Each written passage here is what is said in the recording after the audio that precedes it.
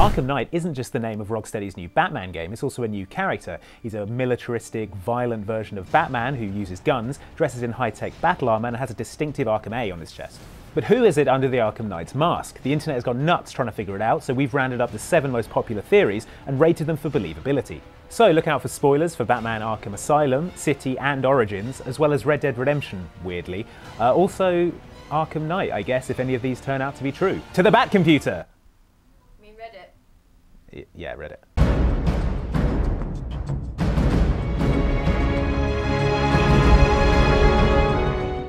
Arkham Knight developer Rocksteady Games has said that the Arkham Knight is a completely original character designed in collaboration with DC Comics. But then the producers of The Dark Knight Rises also said that Marion Cotillard wouldn't be playing Talia al Ghul. Hey, spoilers. They lied right to our face! Batman people can't be trusted, is what I'm saying. Okay, for the sake of argument, let's say that the Arkham Knight is a new character. The character hasn't appeared before, it's a new character. Let's also say that there's someone inside the suit. Does the new character thing have to apply to them as well?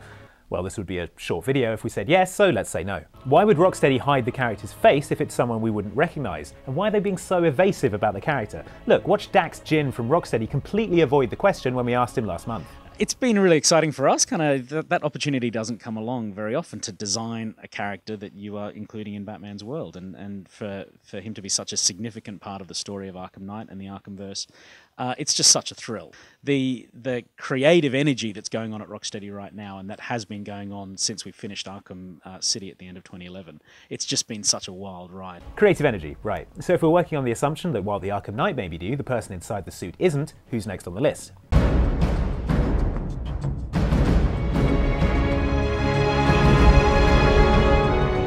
The Joker is dead.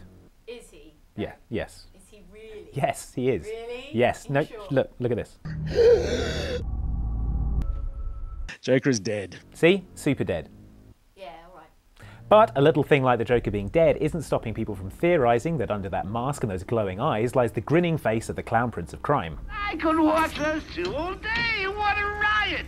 And speaking of riots, here's a bit of civil unrest I cooked up just for you. The first concerns the Lazarus Pit, you know, the magic pit that brings people back to life that Joker dies right next to at the end of Arkham City. Get out of my way, bats! I've got a date with immortality.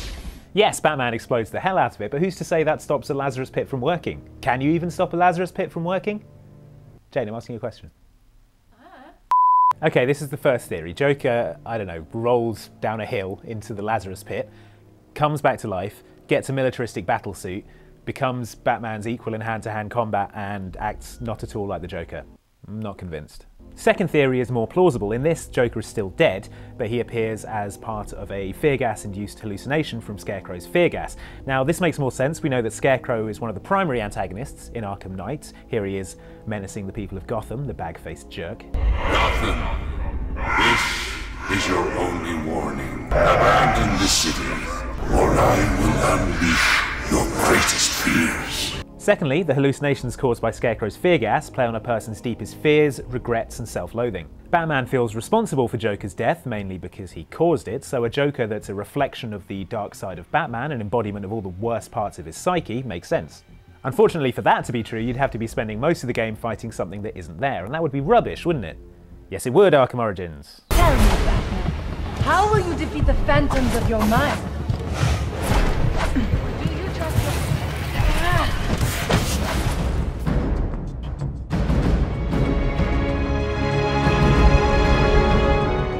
You may have missed Hush in Arkham City as he was part of an optional side quest in which you track down serial killer the Identity Thief.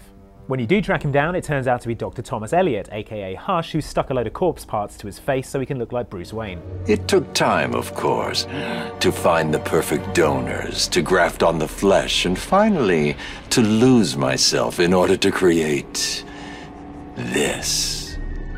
I'd be pretty offended if I was Bruce Wayne. Anyway, that's about as far as he gets with his evil plan before dropping the video game equivalent of, well, see ya, and wandering off. But it's time for me to leave now. Pray we do not meet again.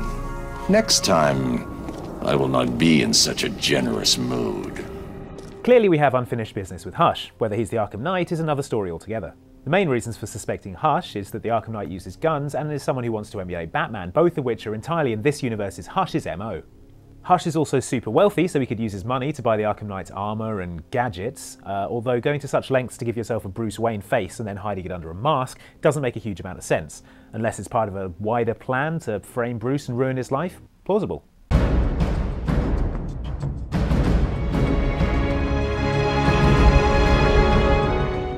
Azrael's another guy you might have missed if you didn't do the Arkham City side quests. This guy looks kind of like a rejected Mortal Kombat character. Azrael shows up when you complete the Watcher in the Wings side quest and goes on about prophecies while Batman makes bitchy comments. But you will come to know me as Azrael, loyal servant to the Order of Saint Dumas. Just what I need. Another secret society. Shade. Anyway, he predicts Batman's death, or at least that Gotham will burn and Batman along with it. But is he the Arkham Knight? Well, he's the right build, he seems to already have a bunch of gadgets, and without getting too into the various Azraels who have been in the comics, one Azrael even takes over from Batman when he has his back broken by Bane in the Knightfall story arc. In that story arc, Azrael dons a high-tech battlesuit and becomes a more violent, merciless version of the Dark Knight, willing to kill those who oppose him.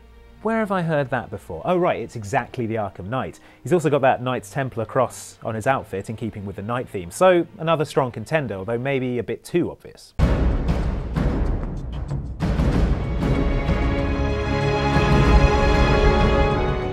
Quincy Sharp is another popular solution for the Arkham Knight's identity. This is the erstwhile warden of Arkham Asylum, then mayor of Gotham, and then, I guess, brainwashed by Hugo Strange, hung off a building by Batman, and arrested by the GCPD. It's worth pointing out here that Quincy Sharp is both insane, believing himself to be possessed by the spirit of Amadeus Arkham, and a serial killer who believes murder by him to be the best cure for being insane. He also wants to save Gotham by purging it of the criminal element and has a military background, albeit a failed one. Then there's the A on the Arkham Knight's chest. Also, there's the fact that Sharp's an original character created for the Arkham games, which makes him a viable candidate if you look again at Rocksteady saying the Arkham Knight is an original character. Hmm. The only problem is, as you may have noticed, Sharp is an elderly fat man and probably couldn't even fit into the armour, let alone do all the acrobatic splits and backflips you need to be able to do to fight the Batman. The current fan theory is that the Arkham Knight is actually a robot controlled by Sharp. Again, he's wealthy and has connections, so it's a possibility. Sharp was pivotal to the events of the first two Rocksteady Arkham games, so it's reasonable to assume that he'll turn up in Arkham Knight. Whether that means he'll turn up in control of a militaristic battle robot that looks like Batman is another question altogether. One for the maybe pile.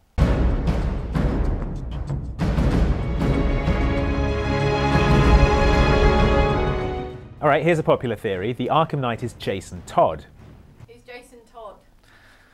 He was the second Robin, um, then he was killed by Joker with a crowbar, and then, no, he came back to life. Became like a bunch of different murderous vigilantes. Uh, Red Robin, he's like usually the Red Hood, just, he was Nightwing, I think, for a bit, Batman. He's just everyone at some point is probably Jason Todd. Like Azrael, Jason Todd is someone who once took over from Batman and decided that what Batman's crime fighting technique was missing was guns, murder, and an armoured faceplate. Bit like a certain knight I could mention. The Arkham Knight is who I'm referring to, in case there's any confusion.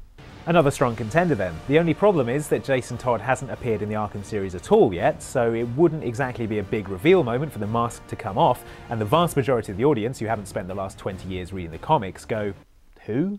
Tim Drake, the third Robin, is the Arkham Universe's Robin, so the chronology technically could work, but it doesn't really earn itself as a reveal with zero set up in the previous two games. I'm not convinced.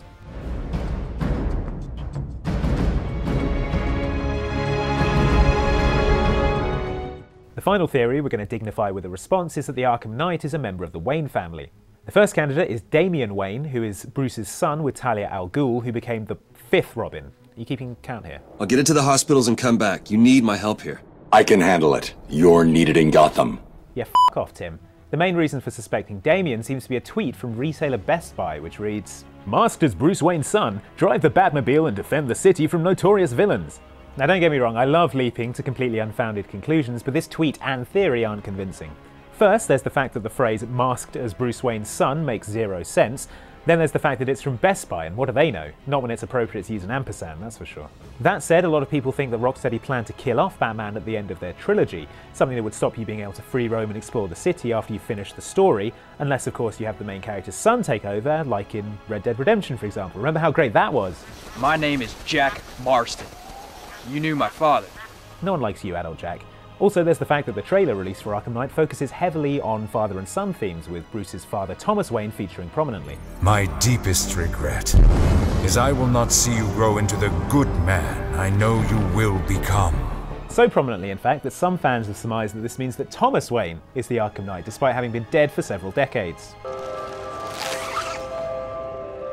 Father, you should have stood up to him, son. Like a man. Okay, looking to the comics, there is an alternate timeline comic where Thomas Wayne becomes Batman after his son Bruce is murdered, uh, but is a much more violent, merciless version of the character. That's literally it though, there's no other evidence to suggest that Thomas Wayne is under the Arkham Knight's mask. Unless all that stuff in his will telling Bruce not to use his money to buy a rad car was to make him easier to fight in the future. Clever, Thomas. Clever. Do not be frivolous with this wealth. Please do not waste it all on fast cars and outrageous clothes and the pursuit of a destructive lifestyle.